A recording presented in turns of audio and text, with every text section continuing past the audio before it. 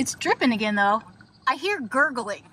Water all over the place up here. There's water like up in here, all up through here. There's water just everywhere in there. Yeah. It's like sprayed.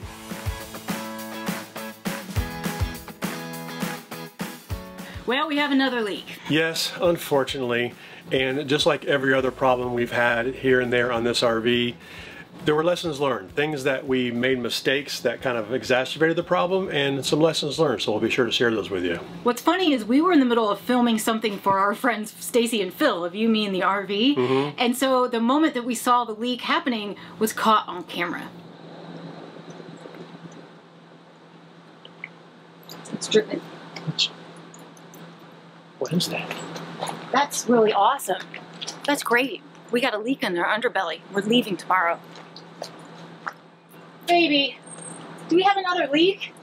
First things first, we had to figure out where the leak was coming from. Yeah, There could be so many places it's coming from in the RV. because it was all over the place. It's dripping again, though. Chad, I hear gurgle. I hear gurgling. Yeah, this doesn't sound normal. You may turn it off. Yeah, but I don't know why there's water all over the place up here. There's water like up in here, all up through here. Well, how can we? I don't know where that line goes. There's, it's wet.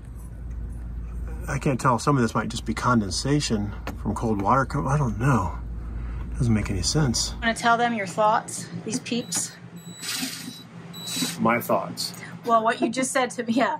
Okay, well, You know what's funny is we were just filming our RV advice and we talked about patience and understand there's going to be things that break and we come out to find water leaking out. be prepared to fix stuff yourselves. Yeah. You do a lot of repairs yourself. And mobile RV techs are a great resource. Bingo. Yeah, that's what I was going to say. Yeah, but but what we forgot to say is that the stuff usually breaks at the most inconvenient times. Yeah. It's definitely something to do with our black tank flush line. And that line just goes straight from the Nautilus panel, I think just straight to the black tank. And you know, I don't know exactly what goes on inside there. I think there's a little nozzle with spray that just sprays in there. My only thought is we're flushing this with our well water here at our cabin, and maybe some sediment got in there and blocked it, and then the back pressure. You know, that line doesn't usually have any back pressure because it's just a straight line. Mm-hmm. There's a line that goes up, like up to here, which is weird. I don't know why it goes up here, but maybe it goes up here then over to the black tank. I don't know. But there's water just everywhere in there. Yeah. It's like sprayed. The inspector tested our water and found nothing bad in it, but that doesn't mean they didn't find any Sediment. sediment. Well, that's weird. That's the back of our shower. That's the back of our shower. This must be a, a relief valve that goes to the black tank flush or something. Yeah, it's all wet. Is it? Uh huh. So it's from the shower? No, it's, it's still the black tank flush, but I think the black tank flush Water line. detected. Yeah. The alarm. Thanks. Thanks. It was a little, a little late. You know, it could be this check valve too. That's what I'm saying. Yeah, if you could go turn on the black tank flush nozzle, I'm gonna watch back here. Okay. Okay, guys. We're supposed to be going to dinner with his parents. Instead, we have to do this. Okay.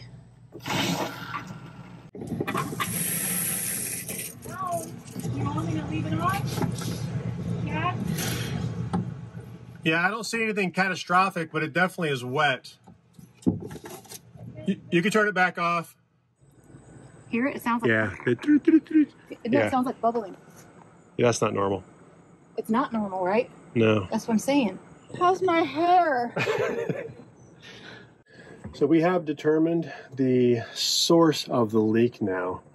Um, and I think it's going to be a pretty easy fix and it only affects us when we're using the black tank flush. But now I just need to assess the damage down here and see how much water damage was done.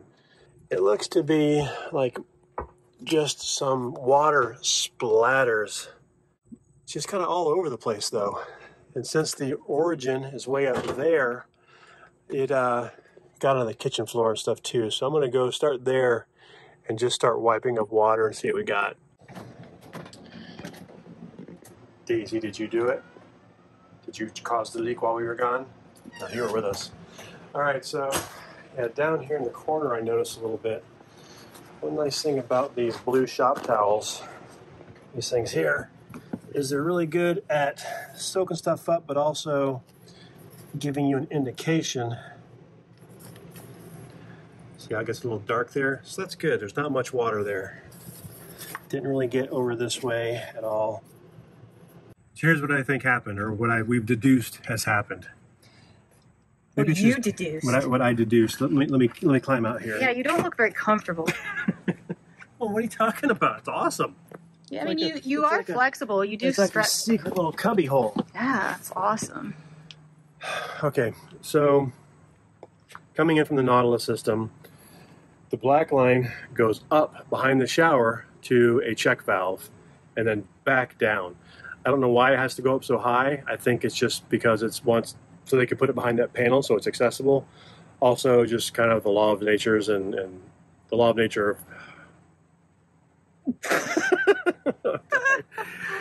Long day. just you know gravity so it has to go up and down. But that check valve started leaking and then it dribbled its way back down the line which is why it's kind of spread out Yeah. and just kind of all over the place. Now it did hit the linoleum and then roll off on top of the black tank and then down under the belly just like other leaks have done back here. So i'm like why didn't we get an alert from Ring on our sensor I went back through our alerts at 3:33, which is not too long after we went over and started filming. We got an alert. Nothing like it happening in the middle of T24. Yeah, we got to travel tomorrow, but luckily it's nothing that's going to prevent us from traveling. Yes, Tara nailed it Why on the first try. surprised? Well, you, I mean, you just right off the bat knew exactly where it was. That's because I saw it happen with Tom and Cherie from EnjoyTheJourney.life. So I was like, I wonder if this is the same problem. Mm -hmm. Yeah, I remember Tom did a video on the secret compartment right back here, which is where the thing is. So we knew it was something to do with the black tank flush line because it only happened while we were doing that. So ordered a couple of these to have one as a spare. Good to have spares. Put them in. Valve replacement day. So I got a couple of these. I got one to replace it and one spare and we're going to replace the valve in here and then do a little test. Before I replace it, I'm going to put the camera up in here and see if we can actually catch it leaking. I mean, I know it's leaking there, uh, but I just wanted to see if I can see it like spraying or doing something crazy. I may just cut a little further down here so I can get to the bottom of it.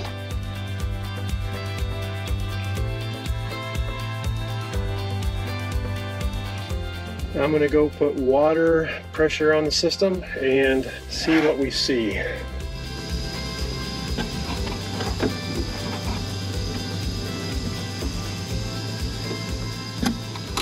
So I wasn't getting any leakage, but we have a lot better water pressure here than when the incident happened. So I backed off of the flow a little bit to see if this thing would not work with lower pressure. And that's what's happening. I can you can see water is leaking out of it. So I'm gonna go shut the water off and then replace this and then try the same test. I'm gonna get some zip ties to wrap around these so I don't lose them down into the belly there because that would suck.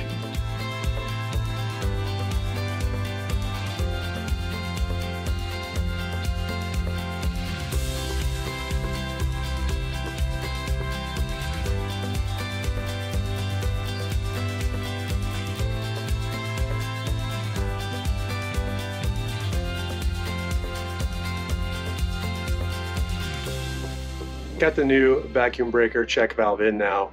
What I'm really curious about is uh, do these things have a problem with low pressure going through them in general?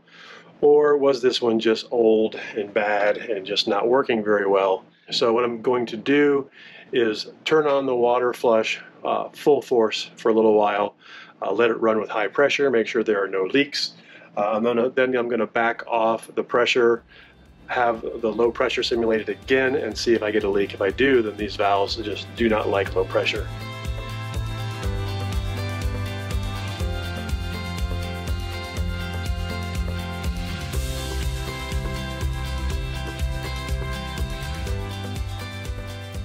Since the low pressure test leaked immediately last time, I feel pretty confident that it is a bad vacuum breaker. Uh, it's just interesting though that it did not show this issue or problem until we were flushing on very low pressure. Let's button it back up. I think we're good. So it was really cool that I was able to dial it back and test it low pressure.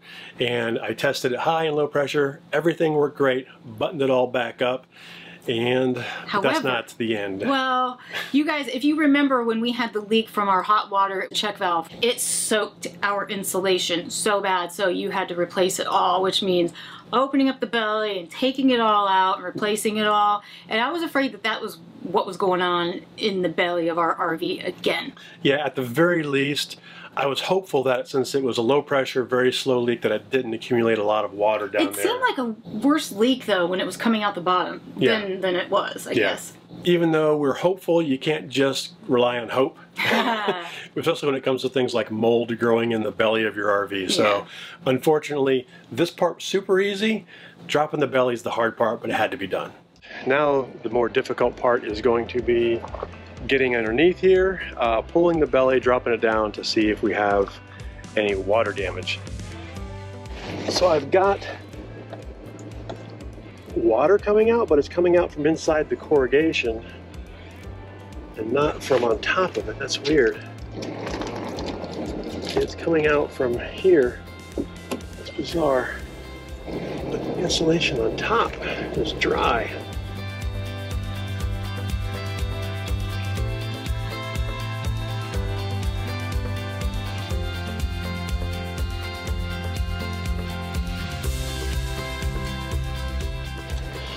So I think we got pretty lucky here. I mean, quite honestly, it wouldn't be much more work to replace the insulation once you get the belly all dropped. But you can see all the insulation we put in here the last time we had a bad leak down here is all nice and white and fluffy and I got the endoscope put it up in there so I can see way back in there and it all looks good so that's awesome so I'm just gonna button this back up and this particular repair will be done Isn't that one of your favorite things? To Oh. drop the coroplast? oh and- it's so much fun I think what saved us was our little pinholes that we had down there. They're not pinned, they're, they're drilled holes. But when we had our last leak, I put some holes at our low spots. And I think that allowed it to drain and not accumulate down there. But we had to check. because we don't want mold growing in that insulation underneath our bedroom. So that was a, a big concern for me. Yeah.